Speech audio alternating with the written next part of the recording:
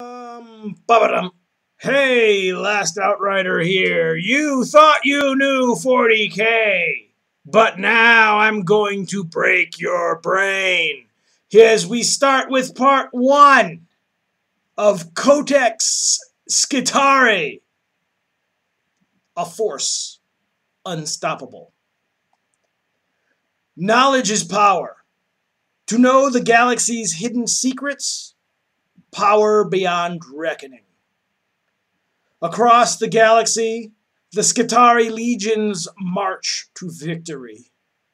The air fizzes and crackles around their guns.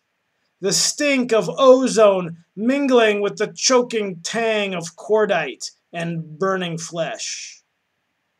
Each fusillade expends enough energy to power a hab block for a year. But to the Skitarii overlords, it is resource well spent. With each kill, with each casualty sustained, the cult Mechanicus learns a little more.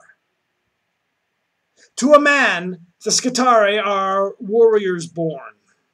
They take pride in their holy work, glorying in the power of the Omnissiah as he drives them to ever greater feats.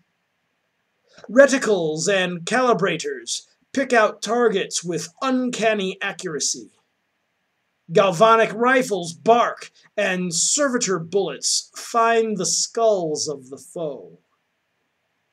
Rad weapons, born with martyr's strength, turn the battlefield ever more toxic until it is as befouled as the red planet's own wastes. Nothing can break the surety and cohesion of the Skitarii legions. Not adversity, nor corruption, nor might of arms. They fight knowing that the unflinching gaze of the machine god is upon them, and that the enemy has been measured and found wanting.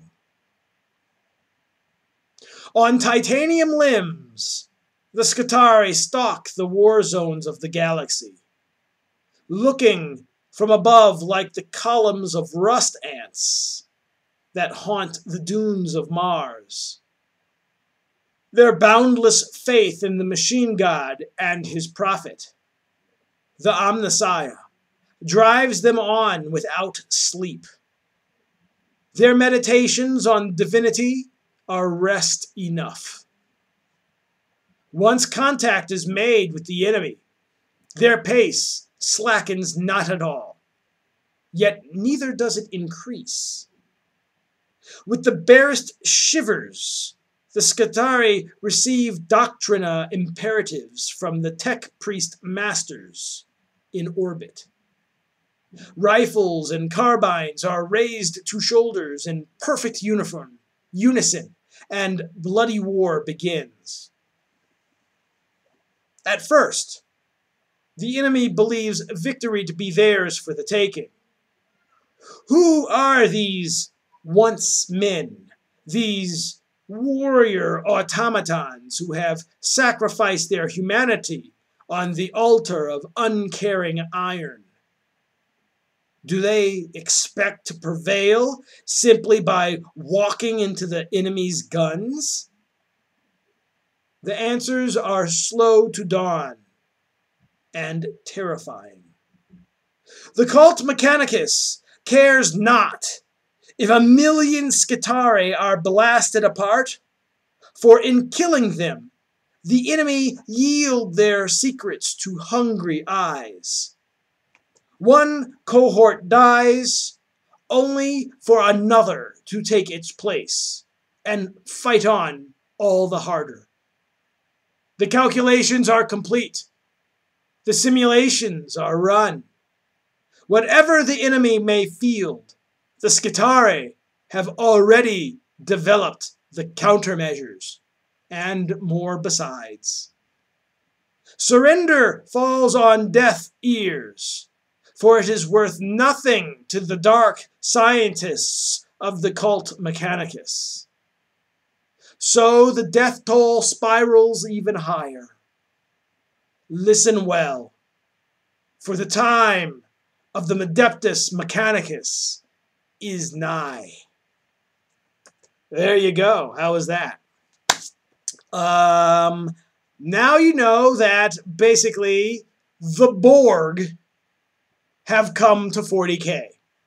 Necrons are Terminator. Well, they used to be Terminator. Now who knows what the hell they are. I think they're Tomb Lords from uh, Fantasy Battle now.